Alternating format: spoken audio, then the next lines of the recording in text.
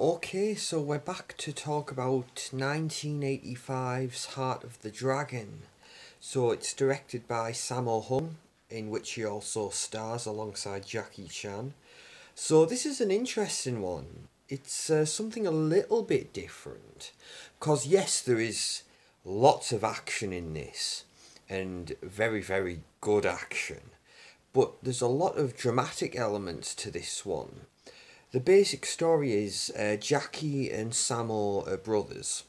And Jackie is a cop who was in the SWAT team and has recently transferred to the CID. So he's doing really, really great in his career. But in his personal life, his older brother, played by Sammo Hung, uh, has uh, learning difficulties and obviously there's a lot of things that Sammo Hung struggles with. He, he can't look after himself basically, and obviously the parents are no longer with them. So Jackie, in addition to his career, has to balance the responsibilities of caring for his older brother. You know, so it's a really, really interesting balancing act that this film does. You know, delivering some phenomenal action, but at the same time, it also offers up some really poignant, uh, emotional, dramatic stuff. It is Rain Man esque in a lot of ways, although obviously this was 85. Rain Man was 88, I think, so this predates Rain Man.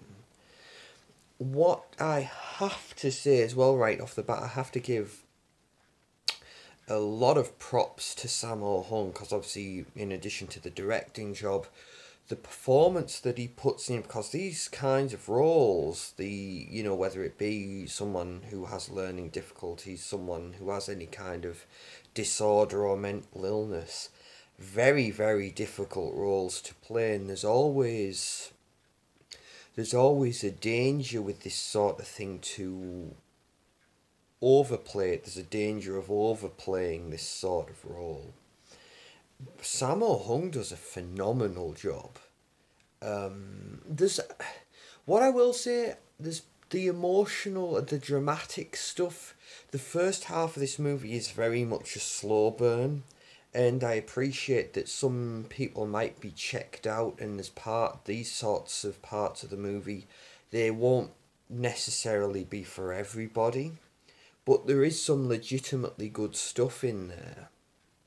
And obviously the chemistry between Jackie and Sammo Hung, or you know, obviously we've talked previously, um, you know, they grew you know, how they grew up together in the Chinese opera and the amount of films they've been in together. So you buy these two as, you know, brothers. And you just the um you know their relationship it, it, it oozes off the screen you know you buy that these are two people who've grown up together and you can see the love and the care that they have for each other like this isn't obviously you know playing two characters this is playing two characters in a film but you can see the real people playing the parts that yeah, there's a genuine bond and a connection between the two of them, which is really, really nice to see. And it, obviously, it makes for a phenomenal pairing on screen. But that's the dramatic stuff, which again handled really well, although, you know, it's not necessarily going to be for everyone, and that's fair enough. But basically, for the first out half of the movie, you're not sure where the film is necessarily going. But then once we get some kind of plot underway, basically the operation that Jackie Chan becomes involved with, uh, there's basically a big jewellery theft. And his brother Sammo Hung inadvertently becomes wrapped up in all of this. And then obviously ends up being abducted, and then Jackie has to take matters into his own hands to rescue his brother. Um, the uh, and then obviously we get into the action. Basically, it's it's front loaded with the drama, back loaded with the action. And what I gotta say is, once the action starts, man, oh boy, basically we and all sorts of different kinds of action. You know, we get gunfights, we get car chases, and we get hand to hand stuff and various, you know, weapons. Uh, in similar sort of things, crime story, I suppose. Um, but the finale of this, where Jackie has to go rescue his brother, and he enlists the help of various other members who were in the SWAT team with him. It, it's phenomenal. The action in this one, wow, genuinely wow. But you know, you don't expect anything less because obviously you have Jackie doing the fights and then you have Sammo Hung directing, you know, and obviously these two, they know how to put fight sequences together. So you have the two of them working in tandem with each other.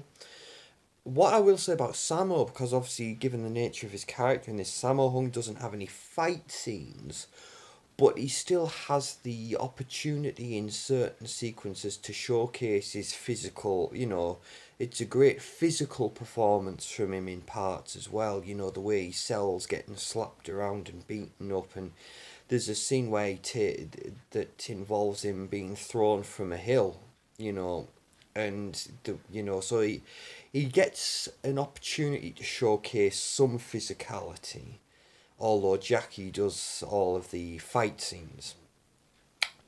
Also, it's interesting to see the different styles, you know, because obviously you know, they do the good old keep the camera wide, keep the camera still. These, you know, and let the uh, the performers perform. You know, showcase the beauty of the choreography. So that's good.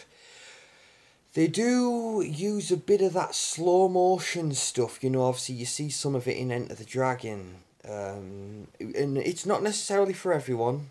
You know, but it's it's not overdone. So there's some in there, but not enough to turn people off. You know, it's it's used sparingly, so that's good. But yeah, this I really like this film. I really, really do. But obviously, the first half, bit of a slow burn, but then we really shift gears as we get into the second half of the film and the action that's coming down the line. For it, it's worth the wait. To put it this way. And what is interesting is the ending to this because, yeah, you know, Jackie goes in there and he uh, puts the bad guys down and he saves his brother, but the way it's presented, he has to take matters into his own hands and he has to operate outside the law on this. And obviously, he pays the price, you know, it ends up with him going to prison and serving some time. So it's one of those, he does the right thing in, in the sense that he saves his brother but it's not one of those where it's a fist in the air moment. You're like, yeah, we got him. You're not quite sure how to feel. It's it's one of those. It's kind of a somber ending, but very um, impactful and very effective. Um, yeah, Heart of Dragon. I really really like this one, and again, it's showcasing you know that these two guys, Sammo and Jackie, as good as they are in the action stuff, as as well as that they are damn fine actors who have a lot to offer. So that wraps this up again. Beautiful Blu-ray release from 88 Films once again. They are doing the Lord's work. You can see the care and the attention to detail that's been put into these restorations. So I highly would recommend Heart of the Dragon in this 88 Films release on Blu-ray. But that wraps this up again. Just nice to see, you know, Jackie and Sammo together. And obviously, that period of time in the 80s and going into the 90s in China, and obviously this one was filmed in Hong Kong, it's just, it's got such a real cool vibe to it, you know, an aesthetic. But uh, again, if you've seen this one, please feel free to share your thoughts. I'd love to hear them. And if it's one you haven't heard of, well, I hope you're intrigued and check it out because it really is worth it. So that wraps this up. Thank you for listening to me ramble, and I will see you in the next one. Thank you, everybody. Bye bye.